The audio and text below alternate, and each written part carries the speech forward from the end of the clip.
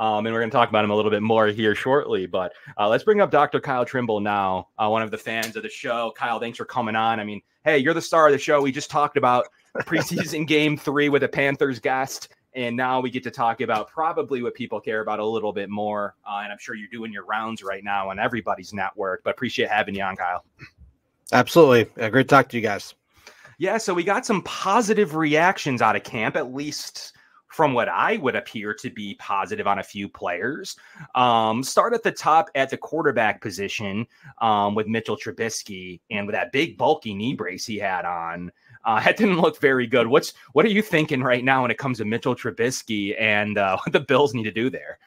Uh, Trubisky, he's gonna be out for a while. Um, I know that when he was running in the second quarter, he got taken down. The injury didn't look all that major. Like I thought it was a mild MCL yeah. sprain, just the way they, the leg was hit from the outside and the way he went down. And then he continued to play another few um, plays on it before he got pulled for Ben DiNucci.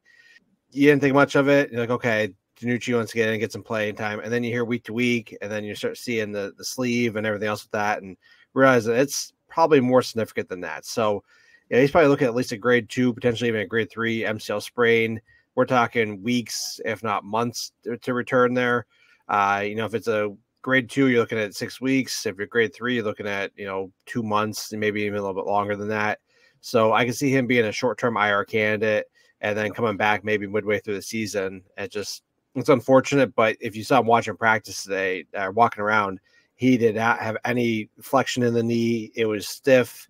You could just tell he just does not want to be out there, and it just hurts like no other. But you know, it just that's, that's reality of the football. Um, you know, playing football and whatnot. Yeah, for sure. And we don't want to get just your injury takes. So what what happens? What do the Bills do now? Like, what should they do at QB two? I mean, that seems long enough to where it doesn't seem like I know a lot of people are interested to see Brown, um, but it doesn't seem like that's the solution. So, knowing what you know about just the injury and the player in general, like, what are you thinking the Bills need to do at that QB two spot?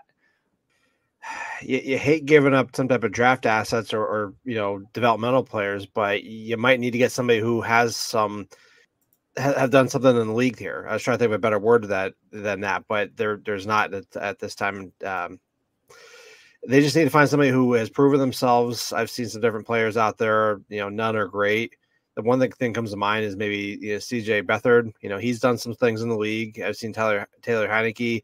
I think you need to bring somebody who has at least started games, has at least can manage the the system for the time being, and has worked in different systems there too. Um, it's not ideal situation, and you might need to give up something for some of these guys, but it's better than I think what we have right now. DiNucci's fine. You know, Brown he, he can learn, but there's a reason why these guys are not in the league or they're playing in the XFL. I mean, they're they're NFL players, but they're fringe NFL players. Yeah, for sure. Kyle, so before we had Jared on, Kevin and I were talking about this backup quarterback situation, and I showed him this list here. Jody Biasi tweeted it today, and we were going through some of these names here, and you mentioned some of them. And the two that we kind of settled on were Tyler Huntley and Taylor Heinicke. But then we were saying that maybe the Falcons don't want to give him up just because Kirk Cousins is coming off his injury and Michael Penix is a rookie. But do any of those names intrigue you? Because I agree. I mean, the Bills have an extra six round pick from the Boogie Basham trade last year.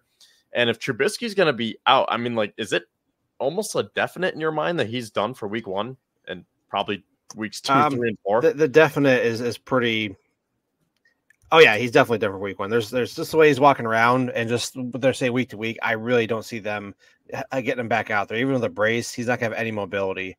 Um, I think the only reason he's able to play at all is because uh, swelling hadn't quite set in. I'm sure he felt the pain and felt the instability in the knee, but I'm sure once that swelling set in, it was like, hey, this isn't gonna happen. So yeah, they need to find somebody else. Find somebody else. I mean, hope that you know break glass in case of emergency. But if we walk in with Ben DiNucci and Anthony Brown I- am scared.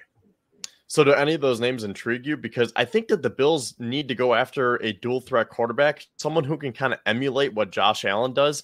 And like I told Kevin, there's only one Josh Allen, but I think Tyler Huntley could be interesting because he is the third, if not fourth string quarterback right now in Cleveland. So, you might be able to get him pretty cheap. Mm-hmm. And we were saying before that maybe you just wait until a week from now from cutdown day but if you want to jump ahead and get ahead of the curve here and get one of these quarterbacks in the room now, with the thought of either A, playing in the game on Saturday, and then B, just getting him up to speed as quickly as possible because September 8th is getting here rather quickly.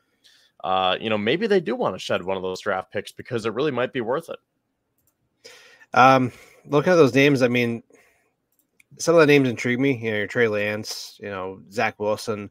The names itself intrigue you, but I mean, the product on the field does not. So, yeah, maybe you do have to trade for the Cleveland quarterback and see what you have. I mean, that guy's at least been healthy and and you know has proven to to play all right when it's called upon. The other guys have not proven what they can do on the field there. So some of the names, if you just look at the name alone, intrigue you, but I'm not crazy about any of the names right now based off the mm-hmm. production they've they've given.